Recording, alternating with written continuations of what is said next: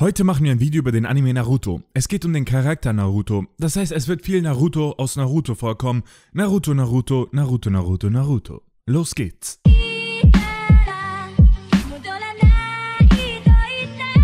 Yo Bros, Meliodas wieder am Start. Bei diesem Intro ist sogar die Verwirrung verwirrt gewesen. Eigentlich wollte ich euch einfach nur kurz alle Modi von Naruto erklären, aber dann dachte ich mir, wieso nicht direkt ein Power Level Video dazu? Deshalb heute das Power Level Video zu Naruto aus Naruto. Wenn euch Naruto-Videos gefallen gebt den Daumen nach oben Button. Habt ihr Bock auf einen Top 15 stärkste Boruto-Charaktere Power Level, dann schreibt's in die Kommentare. Beginnen wir mit dem Base Naruto. Alter, wie oft kommt einfach das Wort Naruto vor? Kann das bitte jemand zählen? In diesem Standardmodus ist er natürlich am schwächsten. Er nutzt hier nämlich nur sein eigenes Chakra und noch nicht das von Kurama. Kein Eremitenmodus, kein KCM, einfach nichts am Start. Aber dazu kommen wir jetzt. Kommen wir direkt zum Eremitenmodus von Naruto. Diesen Modus erkennt man ganz easy an den horizontal verlaufenden Froschpupillen. Dazu kommt dann noch die Schattierung um die Augen. In diesem Modus kann Naruto Naturchakra spüren und für sich nutzen. So konnte auch Pain einen unsichtbaren Schlag verpassen, indem er Naturchakra aus der Umgebung für sich nutzte. Dieser Modus ist extrem wertvoll, da er die schnellste Reaktionszeit zulässt, weil man in diesem Modus Gefahren in seiner Umgebung spüren kann. Damit kann man sich auf den zum Beispiel ankommenden Angriff vorbereiten und ausweichen. So wechselte Naruto im Kampf gegen den dritten Raikage vom KCM in den Eremit-Modus, weil dieser einfach schneller ist. Also schneller in der Reaktionszeit. Ich gebe euch ein kurzes Beispiel. Wenn die Frage wäre, wer ist schneller von Deutschland nach Albanien, dann würde KCM Naruto das Rennen machen, weil es hier um die Fortbewegungsgeschwindigkeit geht. Ist die Frage aber, wer kann besser den Schlägen eines doppelköpfigen Adlers ausweichen, also in einem Nahkampf, dann natürlich der Eremitenmodus von Naruto. Weiter geht's mit dem sechsschwänzigen Naruto. Also im Kampf gegen Pain konnten wir alle sehen, dass ein Naruto mit Eremit-Modus ab und zu seine Probleme hatte. Sobald er aber mit sechs Schweifen ausgestattet war, prügelte er die Scheiße aus Pain raus. Pain musste daraufhin ziemlich defensiv werden. Der sechsschwänzige Naruto war halt so stark, dass der Pain diese Art von Gesichter entlocken konnte. Was muss ich bitte noch dazu sagen? Aber eine Sache ist noch wichtig zu erwähnen. Was die Raw Power angeht, ist der sechsschwänzige Modus natürlich viel stärker. Doch wir dürfen nicht vergessen, dass Naruto immer nur einige Minuten in dem Eremit-Modus verweilen konnte. Deshalb wirkt er oft schwächer, als er in Wahrheit war. Später, wo Naruto Naturchakra nebenbei sammeln konnte und es deshalb so gut wie nie leer ging, ist das eine ganz andere Sache. Deshalb werde ich einen grauen Balken hinter diesem Naruto machen, der verdeutlicht, wie stark Full Power Eremitenmodus ist, wenn man es länger und besser kontrollieren kann. Denn ein perfekt kontrollierter Eremitenmodus mit längerer Dauer hätte Pain schneller zerstören können. Kommen wir zum KCM, also QB Chakra Mode Naruto. Wer genau verstehen will, woran man den erkennt, der schaut sich einfach mal mein KCM 1 und KCM 2 Video an. Das werde ich einfach mal ganz am Ende des Videos verlinken. Könnt ihr euch ja nach diesem Video hier geben. In diesem Modus kann Naruto auf einen Großteil von Kuramas Chakra-Reserven zurückgreifen und Attacken ohne Ende spammen. Das Chakra dafür hat er ja jetzt. Außerdem ist er extrem schnell in diesem Modus. Im vierten großen Ninja-Krieg stellt er es öfter unter Beweis. Er weicht auch ziemlich entspannt dem schnellsten Modus von A aus, der als einer der schnellsten Charaktere bekannt ist. In diesem Modus strotzt Naruto nur so vor Lebensenergie und kann zudem negative Emotionen und Gefühle wahrnehmen. So konnte auch Kisame in Samehada aufspüren, als er sich dort versteckt hielt. Auch seine Raw Power steigt in diesem Modus stark an. Er kann sein Chakra um ein Vielfaches besser kontrollieren und somit sogar Mini-Rasenschuriken entstehen lassen. Das geschieht, indem er zwei kleine Chakra-Arme dafür nutzt. Und das ist natürlich auch ein nicht zu unterschätzender Vorteil, die Chakra-Arme. Denn damit kann er vermehrt aus der Ferne attackieren, seine Feinde festhalten oder wie es einmal demonstriert hat, ein großes Rasengan entstehen lassen und seine Gegner mit den Armen dort reinhauen. Schlussendlich konnte er in diesem Modus auch Mini-Bijudama abfeuern, die er zwar nicht gänzlich meistern konnte, dennoch ein beachtlicher Angriff zu dieser Zeit damals. Alles in allem kann Naruto in diesem Modus einfach viel länger kämpfen durch das ganze Chakra. Er konnte im Shinobi-Krieg überall seine Klone mitkämpfen lassen und auch extrem viel einstecken. Doch wenn Naruto und Kurama endlich mal zusammenkämpfen, dann kommt der sogenannte Bijo-Mode oder auch KCM2 dabei heraus. Naruto bekommt hier seine Fuchspupillen durch Kurama und allgemein sein Look sieht hier ein wenig anders aus. Wie gesagt, am Ende des Videos ist das Video verlinkt, wo ich genau auf die Unterschiede eingehe. In diesem Modus kann Naruto endlich mal die perfekten Bijudamas abfeuern und das nahezu so oft er will. Er kann auch Kuramas Körperteile überall über sein Chakra entstehen lassen, was ihm vielseitige Strategiemöglichkeiten eröffnet.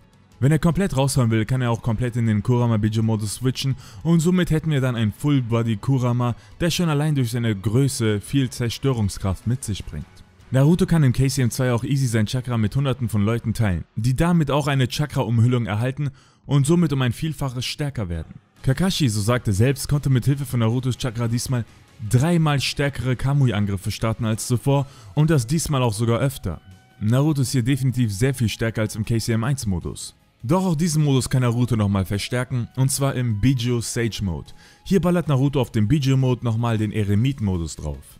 Somit entstehen dann auch die Fuchspupillen-Froschpupillen-Kombinationen in seinen Augen. Hier kann er jetzt auch auf Naturchakra zurückgreifen, was seine Power nochmal um einiges stärker macht. Über den Biju Kurama Mode haben wir eben noch gesprochen, hier verwandelt er sich einfach in eine Chakra-Form von Kurama, was ihn um einiges stärker macht. Es ist halt die alternative Form vom Biju Mode Naruto, mit der er noch mehr Zerstörungskraft freisetzt. In diesem Modus kann er zum Beispiel ganz easy die anderen Biju weghauen, ohne überhaupt ins Schwitzen zu kommen. Das alles wird getoppt im Rikudo-Modus. Hier hat er die Power vom Weisen der sechs Pfade erhalten. Diesen Modus kann man auch sechs Pfade Eremiten-Modus nennen. In diesem Modus hat Naruto ebenfalls die Frosch-Fuchs-Pupillen, jedoch ist diesmal der Unterschied, dass die Schattierungen um die Augen wegfallen. Daran erkennt man also easy, in welchem Modus sich Naruto befindet. By the way, viele checken nicht, dass das hier Naruto im Six Path Mode, also Rikudo-Modus ist. Der hier aber ist Naruto im Sage of Six Path Mode in Kombination mit dem Bijou Mode, also Kurama Chakra, also dem KCM2 Mode.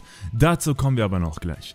In diesem Modus jetzt zeigt der Naruto die Power, um die Gododamas wegzutreten. Er kann die Teile einfach mal berühren, die normalerweise alles und jeden auslöschen. Dann zeigt er unfassbare Heilungsfähigkeiten, indem er das Auge von Kakashi halte und sogar Guy vor seinen sicheren Tod bewahrte. Normalerweise wisse er, nach der Aktivierung der 8 Tore ist Game Over. Bisschen dumm, dass er Guys Fuß nicht heilen konnte, aber naja, wer denkt schon an diesem Moment an Füße? Okay, da würden mir vielleicht einige einfallen, aber das hat jetzt nichts mit Animes zu tun. Naruto kann in diesem Modus Naturchakra auf einem ganz anderen Level nutzen. Es ist um ein Vielfaches stärker als der Eremiten-Modus der Frösche. Nachdem Naruto die Power von Hagoromo erhalten hat, war er irgendwie komplett high. Denn er redete die ganze Zeit davon, dass für ihn nichts mehr unmöglich sei.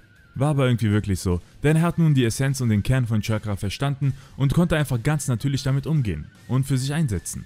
Er befand sich hier zum ersten Mal in einer komplett anderen Sphäre und war sozusagen mit dem Universum verbunden. Denn auch seine Sensorfähigkeiten stiegen unfassbar an. So krass, dass er sogar die Limbo-Klone von Madara spüren konnte, die in einer ganz anderen Dimension stattfinden. Normalerweise dürfte nämlich nichts und niemand diese Klone sehen können. Doch wenn Naruto diesen Modus mit dem Bijo-Modus kombiniert, dann wird's richtig hart. Erinnert euch noch, als Madara einfach mal seinen Chibaku Tensei dafür nutzte, um so ein paar Steinkügelchen vom Himmel fallen zu lassen, waren glaube ich ganze 29 Stück. Naja, Madara nennt die Dinger lustigerweise Regentropfen. Bro, wenn das Regentropfen sind, dann hoffe ich wirklich, dass Regentänzer langsam arbeitslos werden, denn einer der größten dieser Regentropfen ist einfach mal so circa 1350 Kilometer lang. Naja, aber keine Angst, Naruto war ja noch da. Er konnte einfach easy mit diesem Modus, je nachdem ob man Manga oder Anime betrachtet, 6 bis 7 Bijudama Rasen Shuriken abfeuern. Das ist einfach mal eine Bijudama kombiniert mit dem Rasen Shuriken. Schon allein diese Combo hinzukriegen ist schwer genug. Doch er macht nur mit einer Hand, so by the way, 6-7 Stück. Braucht keine Klone oder sonst was und feuert die dann in Richtung der Meteoro von Madara. Außerdem darf man die Gududamas nicht vergessen, die er damals noch hatte. Damit hat er also damals on top eine beachtliche Verteidigung und Angriff gratis dazu erhalten. Denn hätte er die gute damals noch, könnte er sich locker schützen, so wie es Madara damals vor Geistangriffen getan hat. Also heißt das, Ninjutsu oder Taijutsu Angriffe wären bei ihm fast komplett nutzlos gewesen. Zudem wäre nahezu jeder Ninja bei einer Berührung damit pulverisiert worden. Gegen Ishiki hätte das wahrscheinlich nichts gebracht, weil er selbst auf God-Modus ist, aber gegen alle anderen normalen Shinobi könnte ein Gududama ein Insta-Win sein. Damit ist dieser Modus einer der stärksten. Weiter geht's mit dem Ashura Kurama Mode. Das ist sozusagen die Fusion von drei Kurama Mode Narutos. Diese Form hat drei Gesichter und sechs Arme. Wir haben ja gesehen, was Sasuke im Indra-Modus mit normalen Full-Body Kurama Narutos gemacht hat. Er hat sie so nebenbei kaputt gehauen und auch wenn die mal zugeschlagen haben, haben die sich nur selber verletzt. Alles ändert sich aber in diesem Modus. Hier haut Naruto einfach mal seine mächtigste Attacke raus, die von mir Fick die Henera-Sengan getauft wurde weil einfach kein offizieller Begriff für diesen Angriff existierte. Damit konnte Naruto Indras Fall stoppen, der aus dem Chakra aller neuen Bijus kreiert wurde. Ich denke, viel mehr muss ich hier nicht sagen.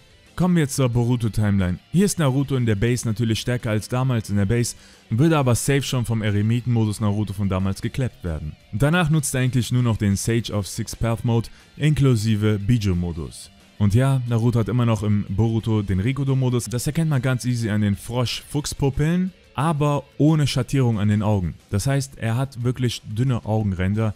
Daran erkennt man eigentlich immer den Sage of Six Path bzw. Rikudo-Modus.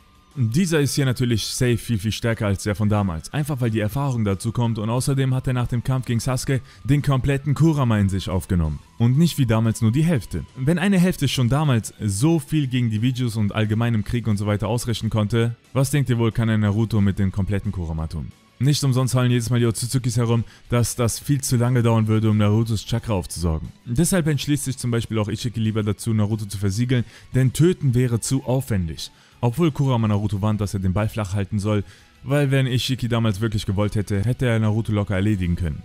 Okay, man muss auch festhalten, Naruto hat die Gudodamas verloren, was ihm in so manch einer Situation ziemlich hilfreich hätte sein können. Dafür hat er aber allgemein wie gesagt durch Kurama viel mehr Chakra und Power dazu gewonnen. Naruto ist auch allgemein gesehen viel stärker in diesem Modus als er damals war, wirkt jedoch viel viel schwächer, weil die meisten seiner Gegner einfach den perfekten Konter gegen ihn haben. Schon allein das Karma-Siegel, was Ninjutsu aufsaugen kann, ist gegen Naruto, der ziemlich Ninjutsu-based ist, einfach OP. Ein weiteres Problem ist, dass er locker komplett austicken könnte, doch nun als Hokage viel mehr auf seine Mitmenschen achtet. Das sagt zum Beispiel auch Sasuke damals im Kampf gegen Momoshiki. Damit ist Naruto stärker als er jemals war und auch hier kann er natürlich in den Full Body Kurama Mode gehen, aber auch in dieser Form kommt er nicht an den Ashura Kurama Modus heran. Wenn er den Ashura Modus 6 aktivieren würde, wäre das wahrscheinlich ziemlich OP, aber was würde das schon bringen? So gut wie nichts, weil die Gegner in Boruto sich nicht mehr durch pure Kraft besiegen lassen, da bedarf es einfach viel mehr. Mittlerweile braucht es Kraft, Schnelligkeit und dreckige Tricks und das in einem extrem hohen Maß. Das alles verkörpert die letzte Form von Naruto, der Baryon-Modus. Hier ist Naruto viel, viel schneller als jemals zuvor und auch viel, viel stärker. Da muss ich eigentlich nichts Großartiges zu sagen. Guckt euch die Szene einfach in Boruto-Anime an, was er damit Ishiki anstellt. Der einzige Nachteil ist, es verbrennt auch sein eigenes Chakra und seine Lebenszeit. Genau, denn der dreckige Trick bei diesem Modus ist, dass Naruto die Lebenszeit seiner Gegner verkürzt. Der Baryon-Modus funktioniert wie eine Nuklearfusion, was permanent in der Sonne stattfindet. Damit wird eine komplett neuartige Energie erzeugt. Ishiki und Sasuke staunten nicht schlecht, als sie diesen overpowerten Modus sahen. Sasuke konnte nicht mal mit seinen Sharingan die schwarzen Chakra-Stäbe von Ishiki sehen, geschweige denn irgendwie darauf reagieren. Naruto kann diese nun easy kontern und sogar Ishiki verletzen. Naruto war niemals zuvor so stark wie in diesem Modus, nur hatte halt einige Nachteile. Der wohl schlimmste Nachteil ist wahrscheinlich, dass Kurama stirbt. So ist das, Freunde. Aber keine Sorge, Bijus sind ja an sich unsterblich, solange sie nicht als Chakra-Frucht absorbiert werden. Kurama wird also irgendwann mal wiederkommen. Habt ihr eigentlich Naruto im Baryon-Modus im Anime gesehen? Was ist eure Meinung dazu? Abonniert den Kanal und lasst gerne ein Like da und schreibt mir mal, welche deutschen YouTuber ich im kommenden Power Level betrachten soll. Aktiviert die Glocke, um das Video nicht zu verpassen. Ich bin raus, ich melde mich. Ach ja, Naruto, Naruto, Naruto, Naruto, Naruto. Und wer hat's gezählt?